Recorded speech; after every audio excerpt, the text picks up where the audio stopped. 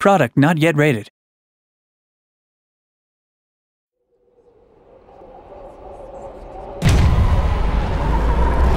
I'm the creative director for Dead Space 3.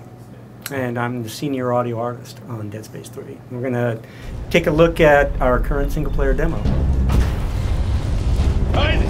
Carver, goddammit, give me a hand here! As the demo begins, Isaac Clarke finds himself on a ship called the Eudora, which happens to uh, belong to this guy here who he's handing a welding torch to. The ship has just been nearly obliterated by an attack, and now they're trying to make their way off the ship. Carver, where can I find an EVA suit?